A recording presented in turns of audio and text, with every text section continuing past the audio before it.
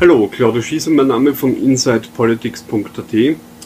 Heute geht es in unserer 121. Folge von On the Grid um das Thema Bitcoin, Trading-Tipps für Anfänger und was man eben schon im Hintergrundbild sieht oder im Hauptbild sieht, ist ein Bitcoin-Chart, wo wir die Entwicklung der letzten sechs Monate, also von Anfang August 2017 bis zum heutigen Tag, den 22. Jänner 2018, betrachten. So, einmal verklickt und jetzt das richtige Bild eingesetzt. Was haben wir zu berichten? Der Bitcoin ist in den letzten Wochen gesunken, immer wieder mal gestiegen, dann wieder runter, dann wieder rauf, dann wieder runter. Man sieht das sehr deutlich an den aktuellen Entwicklungen auch. Und derzeit, ich will nicht sagen, ist es eine Talfahrt, aber der Bitcoin ist doch im Vergleich zum, sagen wir, 7. Jänner, wo er bei 17.000 Dollar stand, mit derzeit 10.600 Dollar deutlich weniger wert. Ja, um was geht es heute beim Thema Traden? Wir wollen mal grundsätzlich zeigen, wie Traden funktioniert. Ich bin jetzt auf der Webseite von bitcoin.de, aktualisieren wir kurz die Seite, um den aktuellen Stand zu haben für 20.30 Uhr. Sieht man, der Bitcoin ist bei 8.849 Euro und 38 Cent. Das ist ein bisschen niedriger als noch vor einer halben Stunde, aber im Endeffekt geht es hierbei um eine Preisschwankung von knappen 5 Euro. Also nicht allzu viel. Und hier sieht man es auch, aktuell wird der Bitcoin gehandelt um 8600 Euro. Da sieht man, er wird teilweise deutlich unterm aktuellen Kurs auch gehandelt. Ich will nicht sagen, dass das jetzt Panikverkäufe sind, aber hier sieht man sehr deutlich, diese, äh, diese Angebote sind doch alle unter dem aktuellen Wert der Kryptowährung. Wenn ich jetzt zum Handeln anfangen will, was muss ich denn da tun? Ja, zuerst einmal brauche ich mal Geld, damit ich mir Bitcoins kaufen kann. Und dann muss ich mich bei einer Börse registrieren, um dort als Händler auftreten zu können. So, jetzt habe ich hier zum Beispiel ähm, bei Infos von bitcoin.de, hier geht es um den Status meiner Legitimation Sprich, ich habe mein Bankkonto, also mein richtiges Girokonto, wo das echte Geld ist, verifiziert, habe eine Mobilfunknummer angegeben und habe dadurch einen limitier ein limitiertes Handelsrecht erhalten. Was heißt das? Ich darf zum Beispiel mit nicht mehr als 1000 Euro handeln und ich darf im Jahr maximal 2500 Euro in Bitcoins zum Beispiel investieren oder in andere Kryptowährungen. Also das ist das Gesamtlimit für alle Kryptowährungen, mit denen ich handle. Was man hier sieht, ich habe zuletzt vor ein paar Tagen mir, äh, der Trade ist noch nicht fertig, weil, äh, weil das jetzt noch ähm, in Banktransfer ist, 0,011 Bitcoins gekauft um einen Preis von 115 Euro. Das war ein Fehler, wenn man es sich anschaut. Sprich, Samstag war der Bitcoin noch bei 10.500 Euro wert und das war schon billig. Rechne ich das um, habe ich unterm Strich noch immer zu viel bezahlt. Knappe 17 Euro hätte ich mal gut einsparen können. Aber sei es drum. Aber naja, so, dass ein bisschen mehr war, sagen wir also 25 Euro hätte ich locker einsparen können oder 30, je nachdem. wie gerade so der Handelswert ist. Sei es drum, war so, ich habe gekauft und wenn ich jetzt kaufen würde, dann muss ich ein paar Dinge beachten. Ich bin zwar verifiziert, aber ich bin nicht vollständig verifiziert. Das heißt, ich müsste einen Personalausweis angeben, ich müsste einen Meldezettel vorlegen. Es gibt auch diese Videoidentifikation, aber das ist derzeit bei bitcoin.de aufgrund des hohen Andrangs, wie, wie das auch hier steht, gar nicht so einfach. Das sogenannte Ident-Verfahren oder Identifikationsverfahren steht aktuell nur Nutzern zur Verfügung, die bereits Kryptowährungen im Wert von mindestens 2200 Euro in den letzten zwölf Monaten gehandelt haben. Und wenn ich jetzt zum Beispiel eine Postidentifikation oder eine Videoidentifikation machen möchte, dann müsste ich mich da anmelden und einen Selbstkostenanteil, wie das so schön formuliert ist, von 14,90 Euro zahlen. Dann könnte ich innerhalb von kürzester Zeit mich vollständig identifizieren und auch voll handeln. Voll handeln heißt, wenn ich zum Beispiel hier einen ähm, Trade sehe, wo steht, dass der Händler nur mit einem vollständig identifizierten User handelt, dann kann ich da nicht mitmachen. Drücke ich hier nur Angebote anzeigen, die ich mit meinem Trust Level, Legitimationsstatus und dem Sitz meiner Bank bedienen kann und gebe ich hier zum Beispiel die Menge 0,05 Bitcoins ein,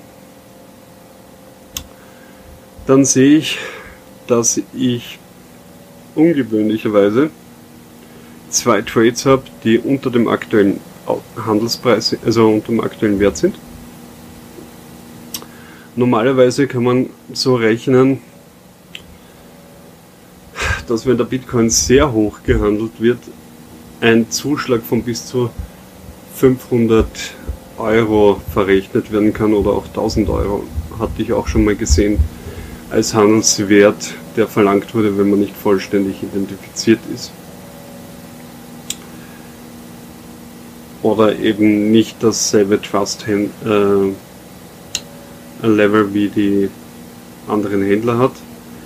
Das, das heißt übrigens Expresshandel. Da zahlt man dann nur etwas extra drauf, damit die, der Handel etwas schneller geht. Wäre hier zum Beispiel auch möglich.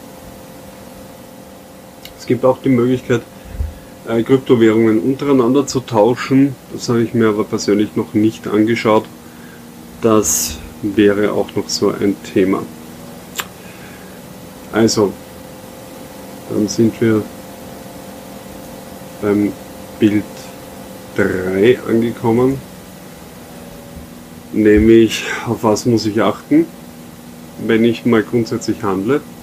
Erstens Trust Level. Wer sich vollständig bei der Börse identifiziert, kriegt günstigere Angebote. Wer das nicht tut, muss mit Aufpreisen von 1000 Euro äh, pro Bitcoin aufwärts zum aktuellen Wert und Handelspreisen rechnen.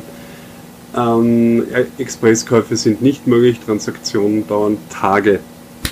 Das stimmt so. Man muss wissen, dieser Sheet ist einen Monat alt, den habe ich eben schon zum Zeitpunkt erstellt, als Bitcoin auf äh, dem High-Level war von knappen 16.000 Euro oder 19.500 Dollar. Und daher divergiert es jetzt momentan. Aktuell hat man nicht wirklich mit hohen Aufpreisen zu rechnen. Zweitens Menge. Wer größere Mindestbeträge von Bitcoins kauft, erwirbt ähm, also kauft, äh, spart ebenfalls Geld. Das ist richtig. Hat sich auch nicht viel geändert. Ein gewisser Mengenrabatt spielt aber äh, spielt immer wieder da eine Rolle. So, kommen wir mal zum nächsten Punkt, nämlich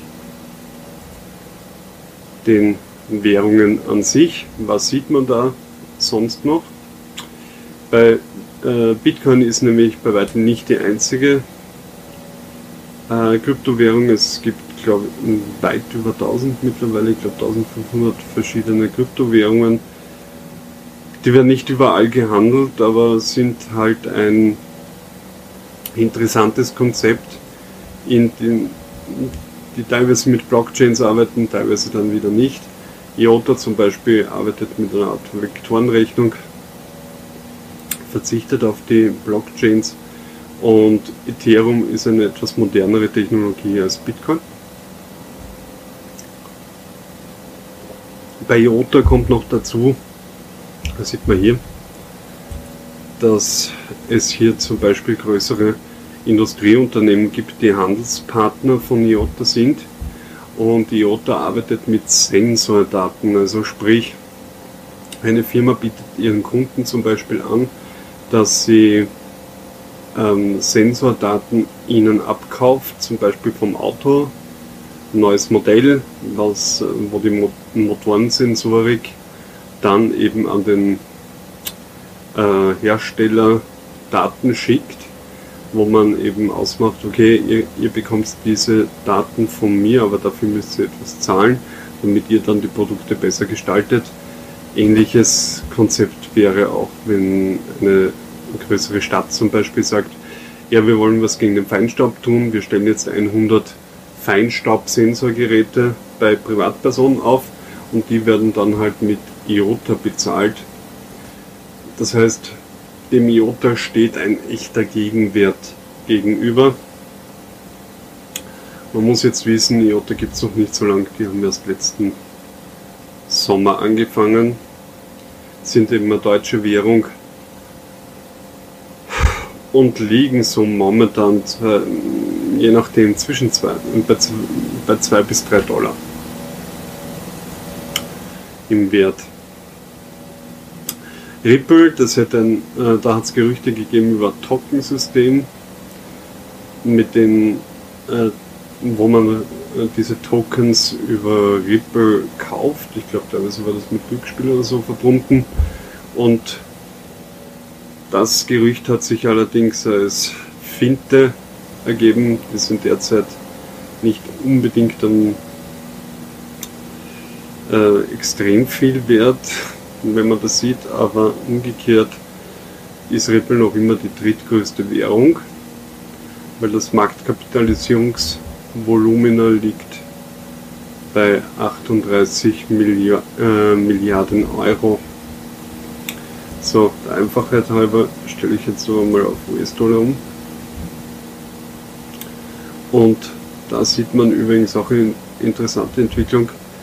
Der Bitcoin ist etwas runtergegangen, der war noch vor zwei Tagen bei knapp 200 Milliarden Dollar Marktkapitalisierung und liegt jetzt aktuell bei 178. Ja, da haben halt ein paar Leute verkauft.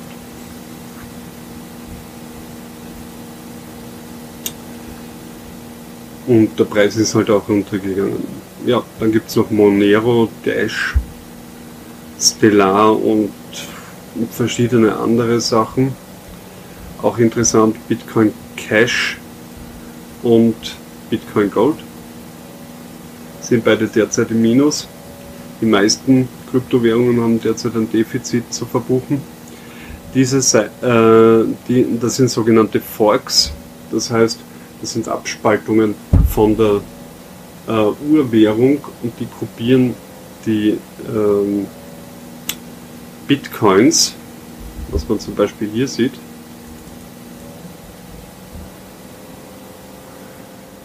Und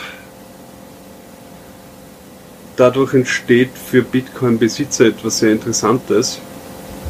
Bei Bitcoin Cash haben wir es gleich mal hier zu sehen und eben beim, äh, im Vergleich zum Bitcoin. Die Zahl der Bitcoins ist nämlich, oder der Coins in den jeweiligen Währungen ist nämlich gleich oder ähnlich hoch.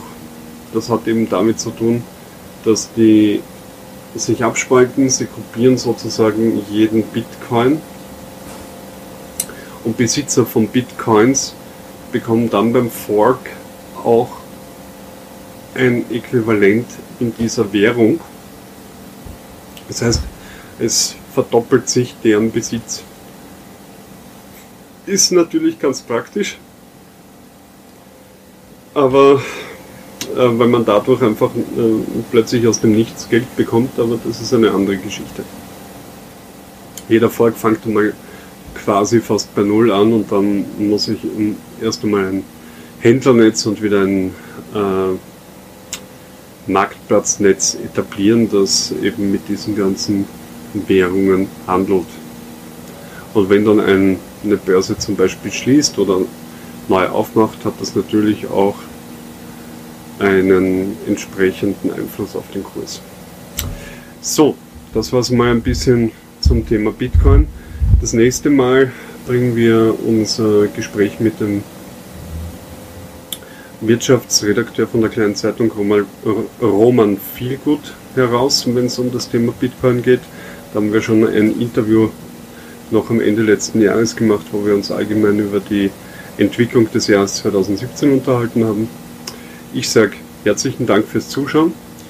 Ihr könnt euch daran gewöhnen, wir machen das in Zukunft öfters und werden das auch anders äh, gestalten. Wir werden so eine Art Livestream aus meiner Wohnung heraus machen, der dann etwas zeitverzögert ähm, auch auf YouTube veröffentlicht wird, respektive auf Facebook. Und ja, ich sage herzlichen Dank fürs Zuschauen. Bis bald, euer Civic. If you like this video, please comment, share and subscribe to my channel. Thank you very much.